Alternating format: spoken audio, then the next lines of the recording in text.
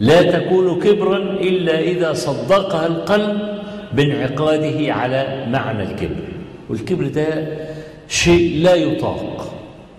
يعني يكفي أن تعلم أن النبي صلى الله عليه وسلم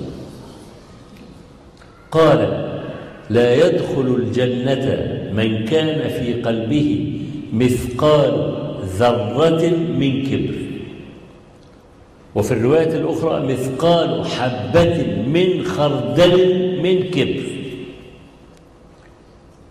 حاجة حاجة صعبة جدا. يعني التقى عبد الله عبد الله بن عمرو بن العاص وعبد الله بن عمر بن الخطاب. التقوا على المروة.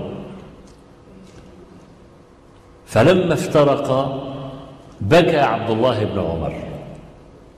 فقال له رفقاؤه لم بكيت؟